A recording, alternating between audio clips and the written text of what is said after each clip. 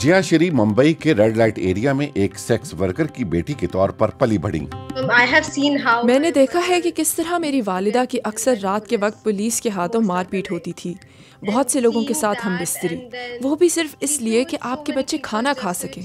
मैं सोच भी नहीं सकती कि मैं कभी वो सब कुछ कर सकती हूँ जो मेरी माँ ने किया।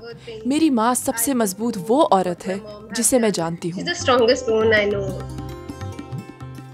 She's the strongest woman I know. Jaya Shri जब 10 बरस की थी तो उनके वालिद का एड्स की वजह से इंतकाल हो गया तब वो दोनों क्रांति नामी एनजीओ की रुकन बन गई ये इदारा सेक्स वर्कर्स के बच्चों और इंसानों की स्मगलिंग से बचाए जाने वालों को पनाह और तहफ़ुज देता है. मैं बहुत डरती थी जैसे क्या होगा अगर मेरे दोस्तों को पता चल गया कि मेरा ताल्लुक कहाँ से है मेरी माँ का क्या पेशा है. लेकिन फिर थेरेपी और क्रांति की वजह से हम समाजी इंसाफ की क्लासें लेते थे तो मैंने सीखा कि सेक्स वर्कर की बेटी होना या सेक्स वर्कर होना शर्मिंदा होने की कोई बात नहीं, क्योंकि मैं जानती हूँ कि मेरी माँ ने जो कुछ भी किया, वो इसलिए किया कि वो हमारी देखभाल कर सकें Because of, so she can take care of. Jaya Shri, जिनसी काम के बारे में आम लोगों के तासुर को बदलने के लिए थिएटर का इस्तेमाल करती हैं। वो और क्रांति से ताल्लुक रखने वाली दीगर लड़कियाँ अपने स्ट्रीट प्ले के साथ दुनिया के मुख्तलिफ़ ममालिक के दौरे करती हैं।